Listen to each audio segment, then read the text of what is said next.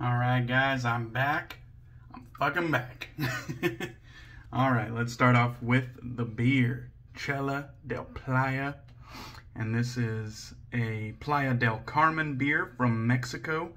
And it is a Kolsch style, so a German Kolsch style from Mexico. Let's crack it. Ooh, that was a crispy crack, too.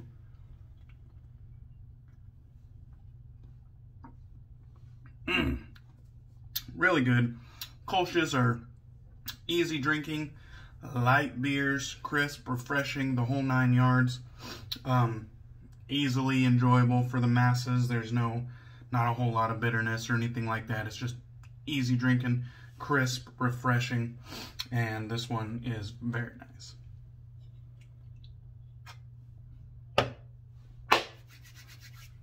All right, we got a lot to get into today. I got a lot of growth. Um, I haven't shaved in like five, six days. So you might actually like get an idea of what I'm working with. There's a lot of growth. You can probably kind of see my um, the grain a little bit. And you don't normally you don't normally get to see that because normally I'm shaving every day. But on my vacation, I just slacked off. I didn't shave every day. All right. Unreleased, some um, upcoming release from Murphy and McNeil in collaboration with um, Black Mountain Shaving and Chicano Designs. As you can see right there, Murphy and McNeil. And the name of the soap is Pisgah. And so we got the Black Mountain Shaving right there. Chicano Design with the artwork. Always does a great job. And got the uh, the bear. Black, uh, Black Mountain Shaving always has like a, a bear. Um, well, I guess not always, but his logo is the bear right there. And they have kind of like this mosaic stained glass type looking thing, which looks really cool. He did a great job with this um, uh, label here. I really like it. Nice colors. The gold is kind of uh, popping and reflective. So very, very nice. And uh, this is in the Kodiak base. You always know it's the Kodiak base because of those collapsed veins. It's the collapsed veins base. And uh, Bill and Murphy and McNeil is always a good sport about me nicknaming it that. But I just think it's funny. It's the only soap I've ever seen that happen in. Anyhow, let's talk about the scent on this one. I really enjoy the scent. I did find it changed a little bit once I lathered it, but that's pretty normal. So the scent notes here, I got my little pad, are bergamot, bigarade, don't know what that is, cardamom, incense on top, mid notes, lavender, ylang ylang, orris, peony, plum blossom, and tobacco. And then the base notes are vetiver, cedarwood, amber, patchouli, vanilla, guaiac wood, leather, and ISO Super E.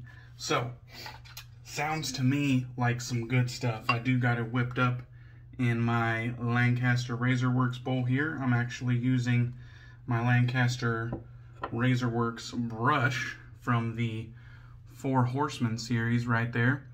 And so this one is called Death, the Horseman of the Apocalypse, the Grim Reaper, arrived on a pale green horse. And this brush is just fucking awesome. And that, of course, is the uh, Lancaster V1 Badger Knot. So, before I start lathering up, I do got to show you this baby. If you saw my mail call, this is a custom straight razor from Raido Star. Uh, I only know of him through Instagram. So Raido Star is R A I D O and then Star S T A R. But yeah, comes in this awesome great looking uh, coffin that's branded and has that dark and, and light wood. It opens up, he has this like cloth on top. And then inside is the razor. Beautiful display. It's very snug inside of that um, foam cutout.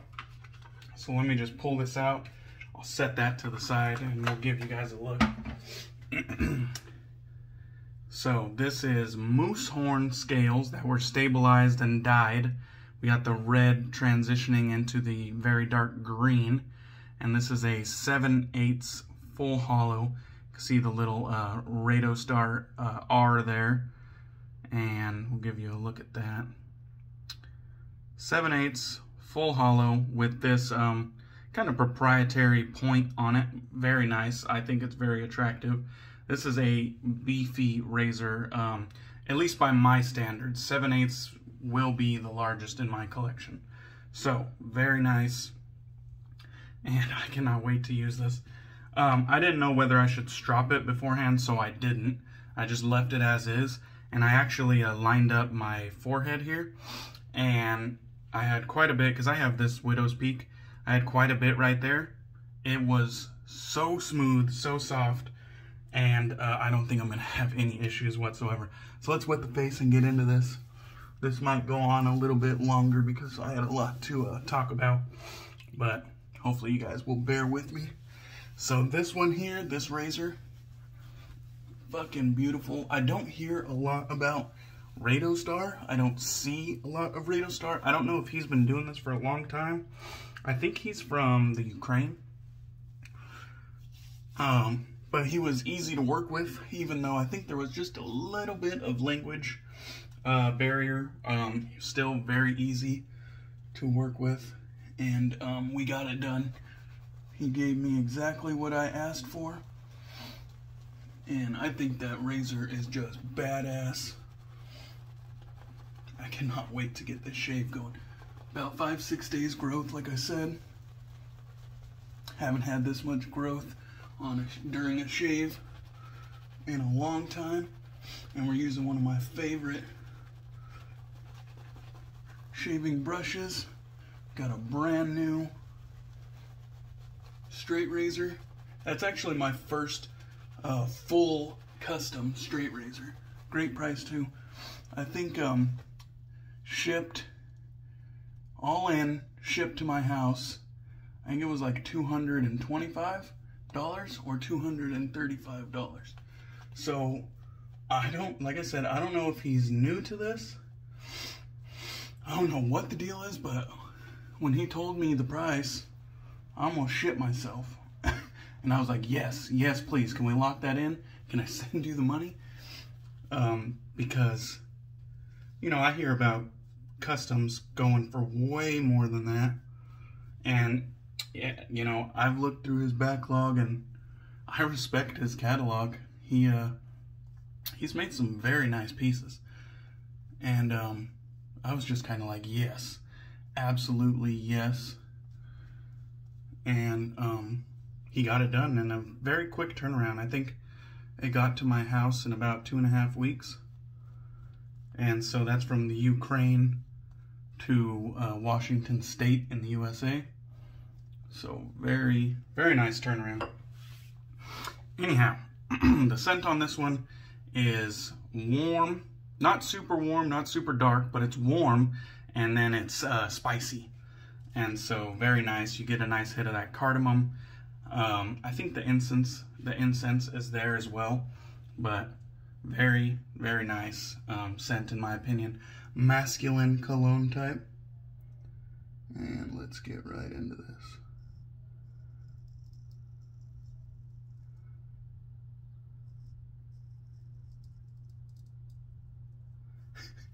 That is just fucking smooth, man.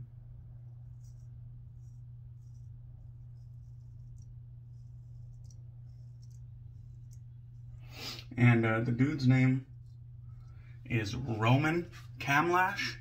And uh, forgive me if there's a pronunciation issues there. Um, I'm doing the best I can. And I just love how this big old 7 8 can still uh, sing so much.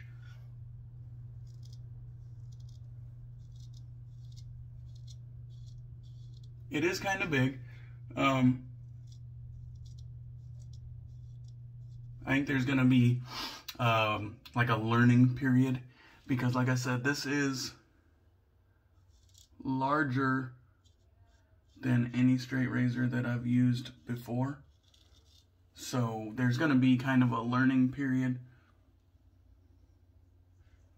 where I get used to the heft and kind of the bulk of a larger blade navigating, you know, through my beard, but honestly, it's not too big. You know what I mean? It's not a, uh, it's not a, um, like massive 10 eighths or something like that.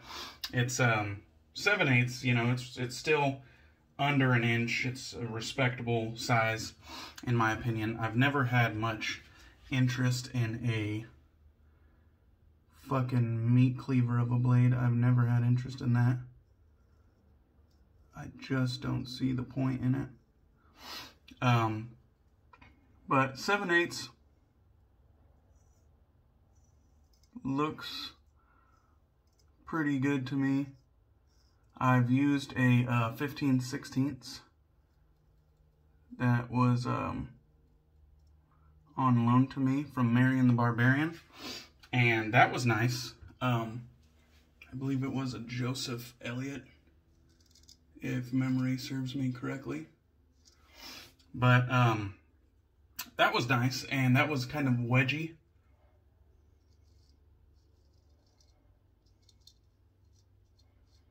I did enjoy that razor. And then Marion actually sent me a full hollow or extra hollow. And I really enjoyed that razor.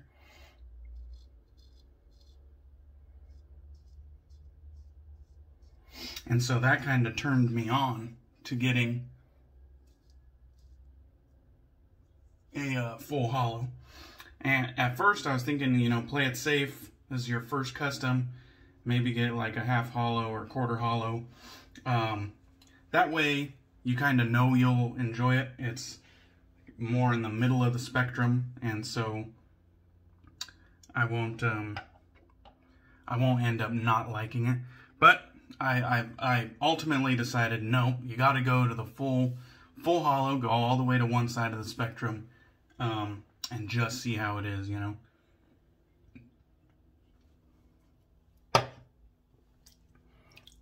And so that's what I did. And I really am glad that I did because I like the way that that razor felt. I like the way that it sang to me.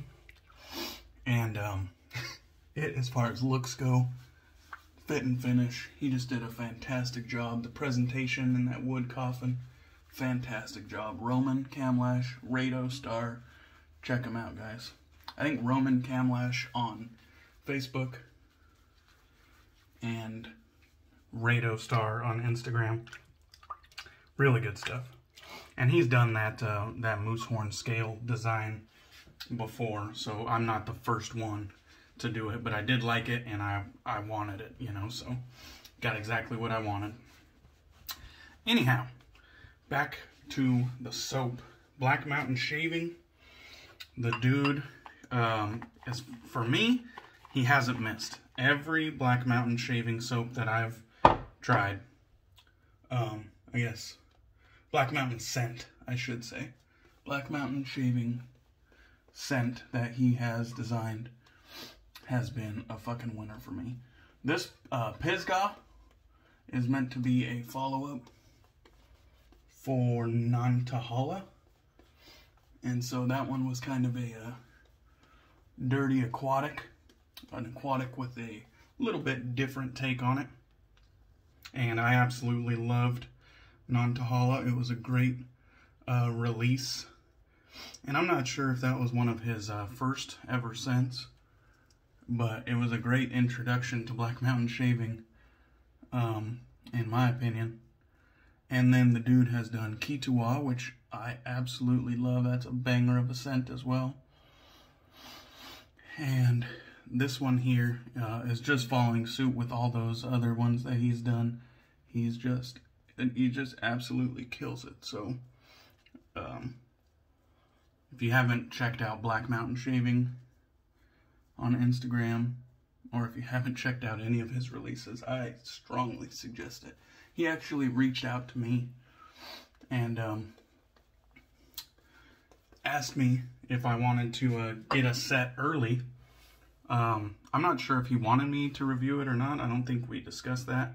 I think he just offered it out there, and I jumped on it because I, I love Murphy and McNeil, and I've, I'm a big fan of the Black Mountain Shaving Scents, so it was a no-brainer for me.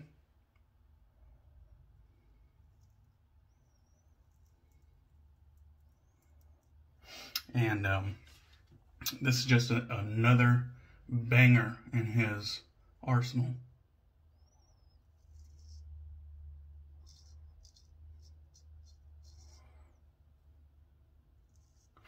That is just so fucking smooth. This uh Kodiak base is absolutely elite in my opinion. It whips up into a dense, creamy lather relatively easily. And it just, it holds its density. It has good uh, longevity. And it doesn't start to uh, dissipate on you or anything like that.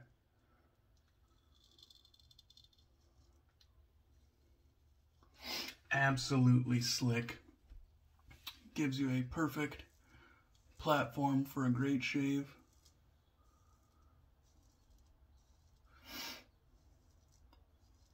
And as this shave goes on, I do think I'm getting more and more uh, comfortable with the heft. I do have, you know, my my whacker does have a bit of heft to it as well. And I think my Henckels Friodur does too, but this is just on another level. more heft than those. And it's a bigger blade than those.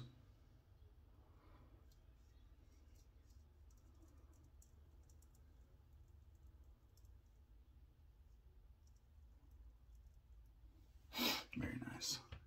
And you know what? I think this blade might have a slight smile to it.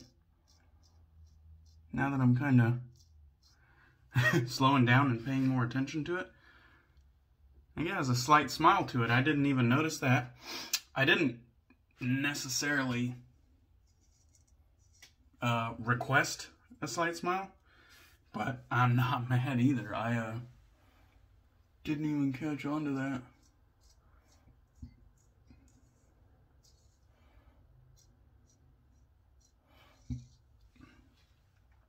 And I don't think I have another razor with a smile. And I don't think I've ever used a razor with a smile. So it's not like a huge aggressive smile or anything like that. But it is a slight smile and I'm kind of pleasantly surprised to uh, see that there because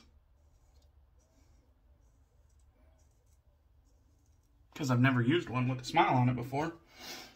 And uh, I think it looks cool. I definitely like razors that have smiles on them. I think they look cool. But um, never used one. Never owned one until now, so... Fuck yeah. Pretty fucking cool in my opinion. Absolutely great fit and finish on this razor. Just, man, that was a fucking pleasure to use. That's what I'm fucking talking about. Looks badass. Shaves like a dream. That full hollow sings to me and I really enjoyed that. So let's get this uh, lather off the face and we will get into some post shave here. So scent, warm and spicy, masculine cologne type scent. I really like it. I think you get that, uh, that cardamom and incense on top quite easily. That uh, tobacco and woods, amber, creating this uh, warm uh, base. And uh, it's it's a, another great fragrance in my opinion. I think um, Black Mountain Shaving has done it again. And in my opinion, really uh, solidified his um, his ability to make great fragrances. I will I will be tuned in to everything he does in the future. That is for sure. And now all that growth is gone, wiped away. We are looking good. Alright. I'll have to get the rest off cam. As per usual.